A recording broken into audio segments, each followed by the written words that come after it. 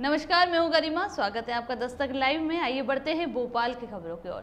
Bharatiya Janata party के प्रदेश अध्यक्ष व सांसद श्री विष्णुदत्त शर्मा एवं महिला मोर्चा प्रदेश अध्यक्ष श्रीमती माया नरोलिया ने बुधवार को प्रदेश कार्यालय पंडित दीनदयाल परिसर में पौधारोपण किया, जिसके पश्चात श्रीमती नरोलिया ने भोपाल के गांधीनगर मंडल पहुंचकर पौधारोपण किया।